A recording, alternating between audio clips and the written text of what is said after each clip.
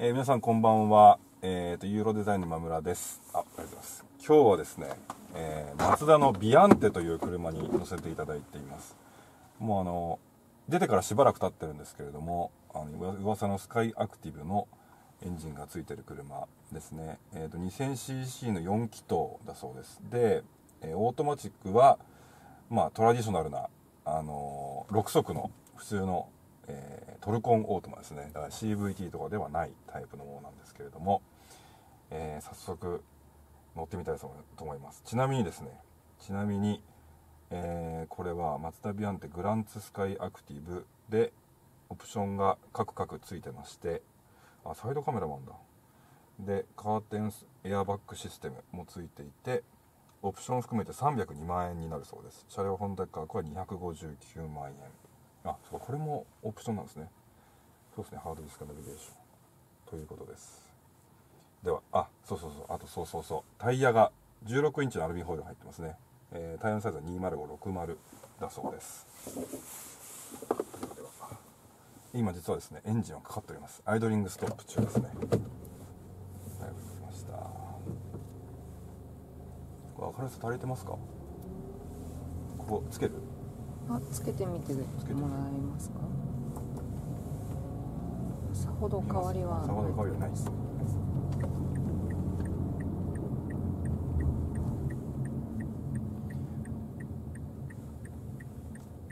であの僕初めて IDM 付きのマツダ車に実は初めて運転してるんですけど言われますかね？ここにあの出てくるんですよ。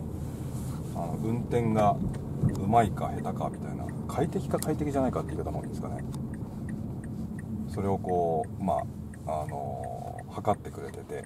でここのなんかこの IDM って書いてあるここの上のあ今消えましたけどグリーンのうちは優しい運転ででそれがちょっと強めの運転になるとグリあグリーンがブルーブルーに変わってそれがさっき取説を見るとしなやかな運転っていうことになるみたいです。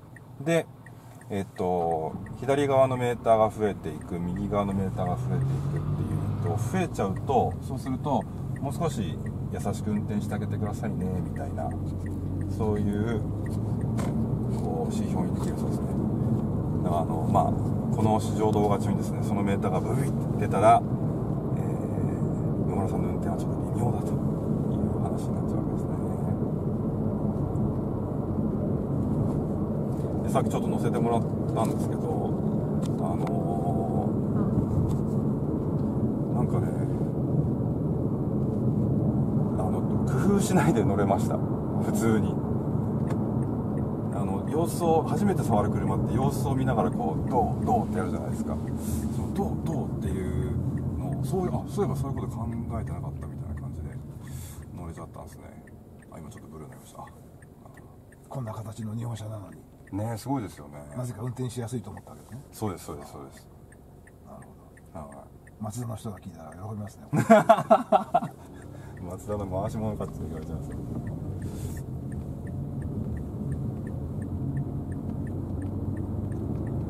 結構嬉しかったのがトルコンオートマちょっと嬉しかったです。うん。あの走り出して CVT かトルコンかも全くあの教わらないで運転させてもらったので、ブああ2速に行ったみたいな。あうん、でこうあのブレーキ踏んでってあのエンジンブレーキもこうまあブエンジンブレーキっていうまでは来ないですけどスースーってこう落っていってくれる感じがなんかもうもはやなんか懐かしいみたいな、あのそんな気分になりましーブレーキの邪魔するほど強い G はあのギアダウンでは出ないし、たはい。でもあの抜けて困るってこともないし。とそうそうそうそうそう。いいですよね。りあえずブレーキのことだけ気にすれば大丈はい。そうブレーキのことだけ気にすれば大丈夫ですよね。夫あ。これ俺のせいじゃないよっていうのは出ないそうそうそうそう。そうそうですそうです。でさっき森さんの人でそ速度の維持が楽だっておっしゃってましたけど、うん。本当そうですねこれね。楽ですねこれね。うん。アクセルを離し離したら離すもしくはちょっと離すって言ってこう加速をやめたいって動きをするじゃないですか、ブーって踏んでってそこであのミッションの味付けなのかなんかわかんないですけど CVT だと結構ああちょっとあーちょっと話しすぎた話しすぎわわかんねえなとかっていうのあるじゃないですか、はいそれが全くないあーなんですかねこれ車だけで1660とかあってねいはい。今3人乗ってるじゃないですか、はい。でこうやって走っててはい。あのビヨンって回転が上がるところがないでしょ。あないですね。確かに。CVT だとそういうことになりやすいってことですか？出やすいんじゃないですかね。あおかしな状乱高下をしてないですよね。ーしてないですね。うん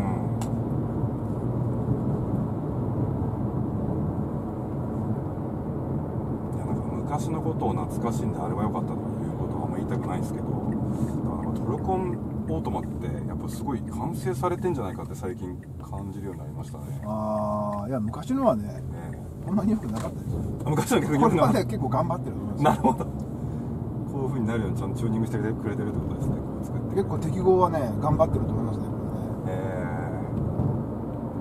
ーであと打感いいですよね。僕これ全然あの多分電波なんでしょうけど。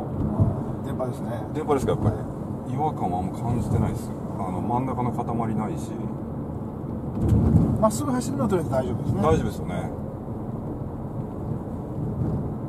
うんここでこうビダが効くって言ったらいいんですかね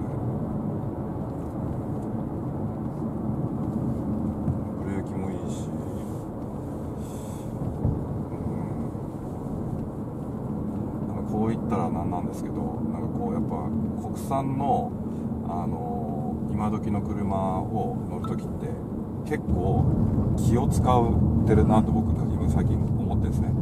最初に触る時にあのどあどんな癖があこういうとこに癖があるんだねみたいなのをこう把握してからやっと乗れるっていうのなんですけどこれファーストコンタクトからです。これ俺癖癖ないねみたいな。ユーロデザインで売りますか？売りたいですね 外から見たらわけわかんないと思いますけどね。業者の車としか見えない。あ誰か来てんだね。そうです。保険屋さんみたいな。明らかにうちの車じゃないなみたいないやーこれ貴重だわ。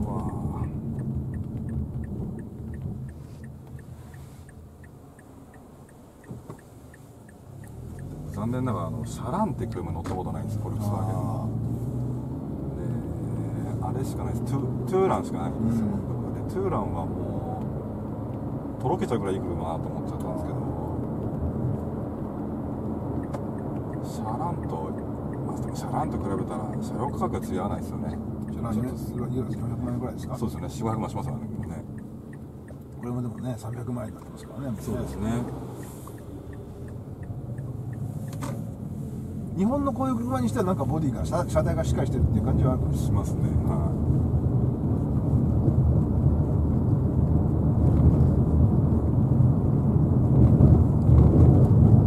い。ドラミングもねそんなにそんなにっていうかまあまあ気にならないし、気にならないですねいやーいいわ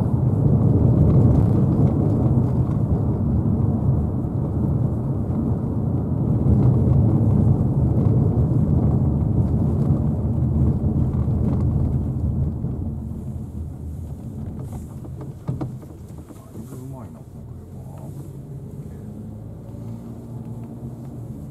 あとタイヤがいいですよねタイヤがいいこれ僕好きです。ミシュランですかねこれは。ミシュランなんですかね。ってさっき答えてしまいましたけど。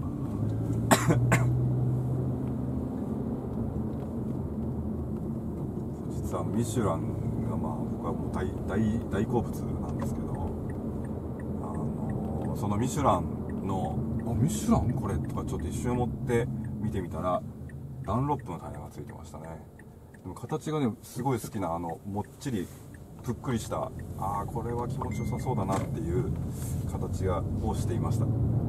形で決ま決まるのかどうか僕は知らないですけど。形で決まるところもありますよ。ああるんですか？形は関係ありますよ絶対。ああやっぱトレッドの角肩がこうグッと立ってるやつは結構きついですよね。なんかそんなイメージ僕あります。これ四角いタイヤだねはいはいはい。これもちょっと張りがあってこそうそうこうぷっくりしますよねまたねいやだからねなんかこの車とまあ他にもこ国産のミニバンってありますけどだからこの車乗ってる人はこんなの乗ってんだと思ってちょっとずるい気もします。いいなぁ。あのバラック感がないですよね。ないない。あバラック感。はいないです。大概バラックでしょ国産の。そうわかりますよ。こっからするとあのちょっと砕き散って散ってしまいそうな、板外れないだけあの よかったねみたいな。よかったねみたいな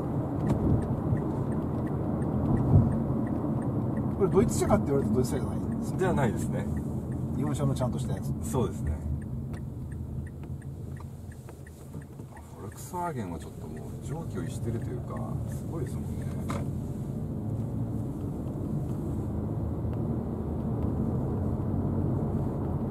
後ろどうすか？そうですね。さっきの今2列目うんのシートに座ってますけど、はえー、とさっきのアクロのところでも、うん。特にもうちょっと突き上げるような、えー、と振動が来るのかなと思ったらそんなことなくて。いうーん。うん違和感ないですね。あのアクロでも全然快適に座ってられるそうなん2か列目シートですね。ねミラー越しにチラチラ見てたんですけどこうやってなってないもんね。うん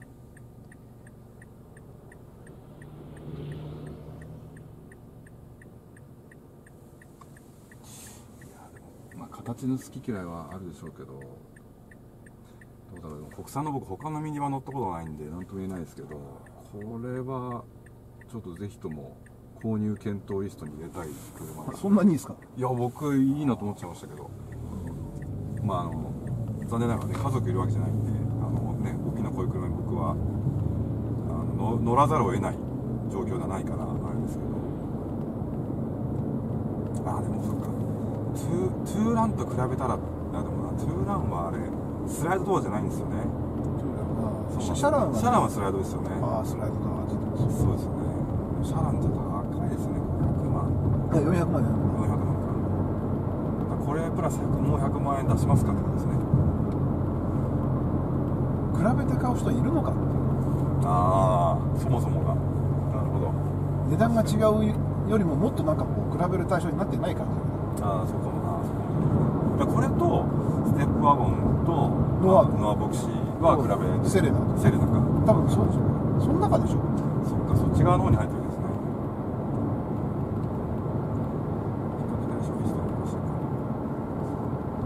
そんな方だったらもうこれがね一番普通なんじゃないかって気がするんですよ。あどうやなるほというためにはあとステップワゴンとセレナも乗らないといけない。どちょっとそうですね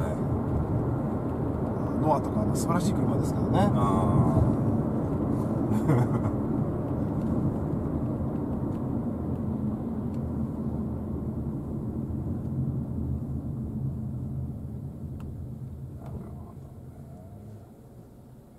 でその後さっきちょっと森さん教えてもらったんですけどあの僕最初の時にこれ一番下に下がってたんでシートが。シートがこれ自体が高さ変わるんですけど。でし一番下に下げてるとこのさささすがの座高の高さを誇る僕でもちょっとこう埋まり感があったんですよ。であの全然ボンネットが見えない車なんでで。それでちょっと今実は少し上げて乗ってみたんですけど。そうするとあはいはい合いましたっていう。あのうまい具合にこうキャビンの中にこう自分の頭の位置がこう決まる感じ始まる感じでしたね。一番下に下げてるとこうなんかここら辺が巨大な空間の下の方にこううずもって乗ってるような感じだった。子供になってこうね。あ運転してる感じ。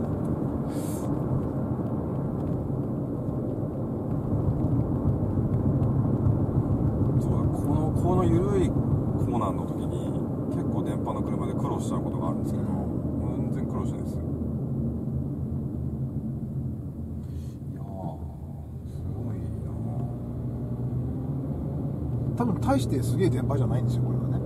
あそうなんハードウェア自体はねあ多あまあふ普通のというか。分ちゃんとちゃんと仕上げてあるっぽいですよねなんかねこれは。そうですはいそうそういう感じします。あのフォルクスワーゲンのなんかすごい凝凝った機構だっていう話でしたよああいうもんじゃないですよ。ではないんですね。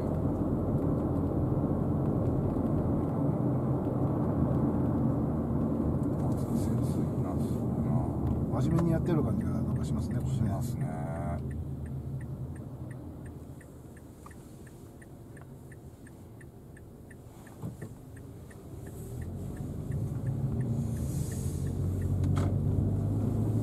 あの日本でしか売らない車の割にはっていうとね言葉悪いですけど、うんうん。はい。ちゃんとそれなりにそそれなりにっていうか、うん仕上げましたって感じしますね。一応なんかやってやる感じが。します。すごくする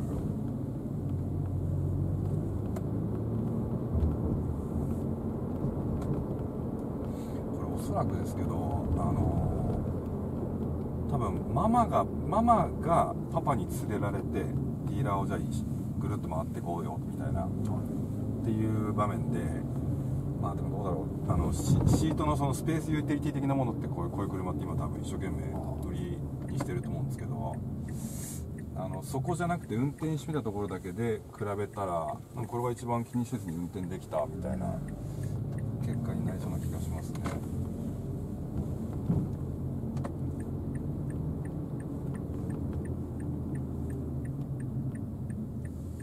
あれでしょ？あの終日はお母さんが奥さんがこう運転して。そうですよね。で下手するとあの週末の家族でどっか行く時もお母さんが運転して。して。可能性ありますよね。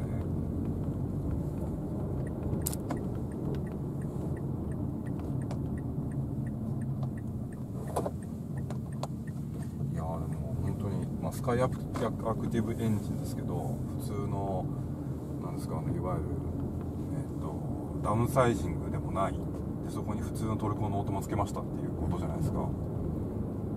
すごいですよねこの乗りやすさちゃんとやればこのぐらいのことはできるってことですね。ってことですよね。